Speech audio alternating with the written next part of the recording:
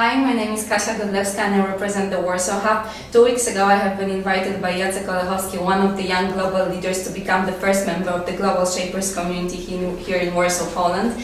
Um, during the next weeks and months, together with Jacek and the new members that will be joining us, uh, we're planning to build a diverse group of people here in the Warsaw Hub that feels determined to change and shape the environment in an entrepreneurial habit. We would like the group to be very diverse, coming from different backgrounds, different professions, so that we can create an engaging and stimulating environment in which we can address uh, challenges in a very effective way.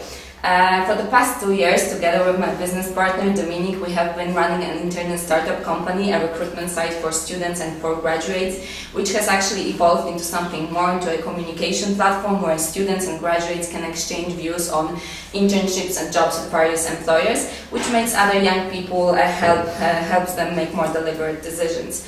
Um, the platform also fosters a dialogue between uh, the companies and the young people the companies can better understand the expectations and the needs of our generation, the so-called Generation Y, and uh, then adapt their work environments accordingly.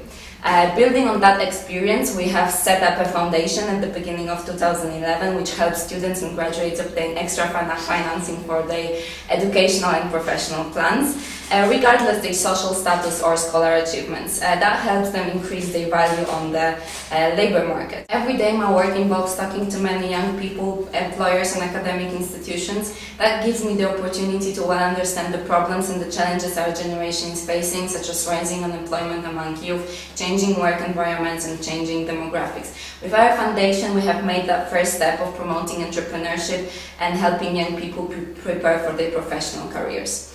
Um, from Davos, I would like to bring back inspiration to create new initiatives and expand existing ones. I would like to back, uh, bring back to the Warsaw Hub the energy and the enthusiasm of that place.